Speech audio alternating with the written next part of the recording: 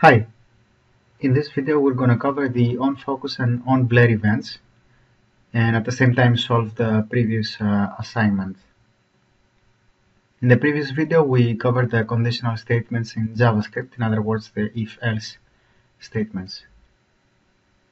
And in the previous uh, assignment, uh, well, we what I asked you to do is uh, when a text box is focused, I, when a user tries to insert some text into it to change its background color to gray and border to green. So let's uh, go and see how to do that. So I created here a new file and between the body tag I'm gonna create an input uh, tag in order to create my text box. Uh, to create the text box as we know we need to specify the type as uh, text.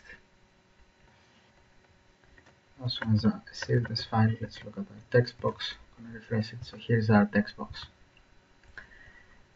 Now uh, we want to do something when this text box is focused. So for that reason, we need to use the on focus event or the on focus uh, technically speaking the onFocus attribute. And here as we did in previous videos we're going to specify a function. So this is the name of the function and then we're going to specify exactly what it does within the script tag and the script tag uh, if you remember needs to be within the between the head uh, tag now here I'm gonna define my function. And the name is do on focus. There are no arguments that I need for this.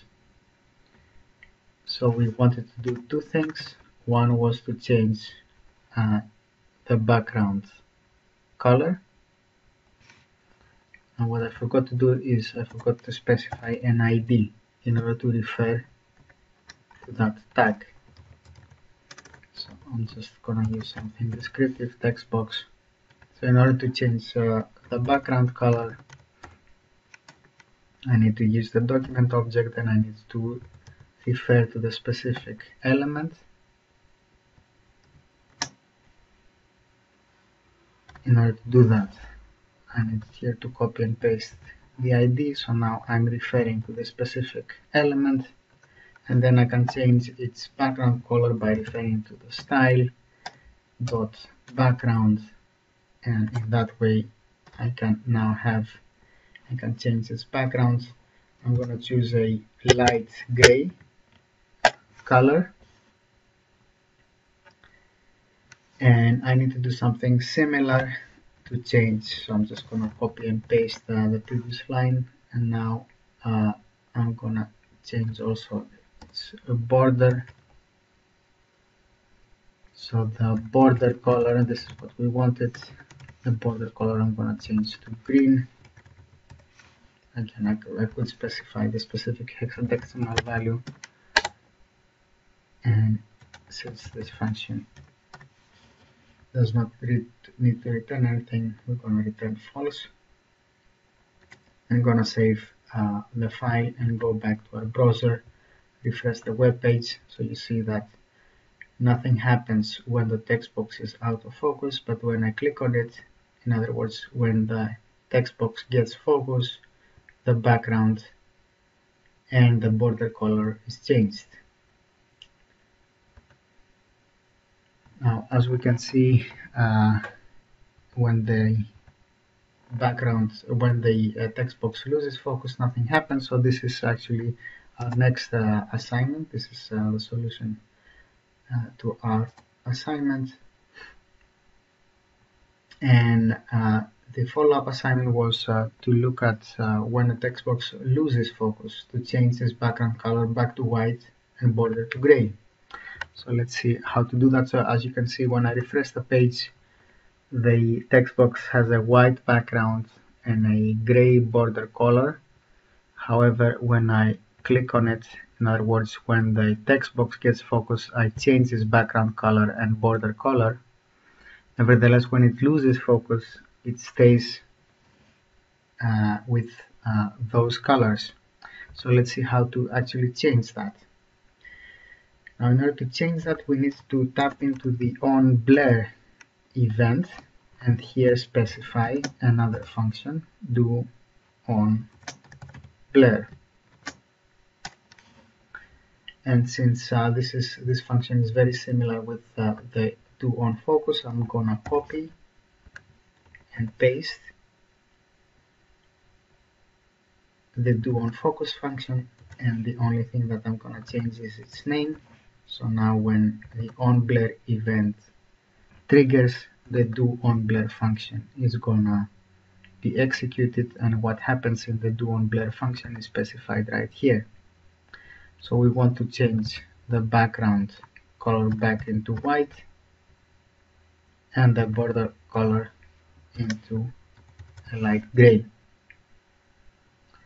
So let's see what happens. If I save the file move back to the browser I refresh the page. So you see this is the initial state of our text box. If it gets focus the background color changes into a light gray and green.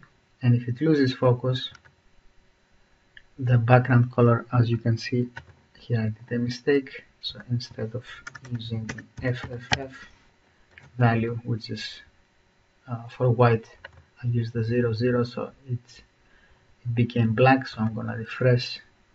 So this is you see the uh, the web page. I saved my uh, HTML file. I refresh the web page. As you can see this is the desired result and if I click outside now the text box somewhere here you see is the text box gets back into the white and gray the white background color and gray uh, border color. Again if I if it gets focus it's gonna change into this. It uh, loses focus. In other words when it's blurred when the on blur event I should say is triggered it goes back to its initial state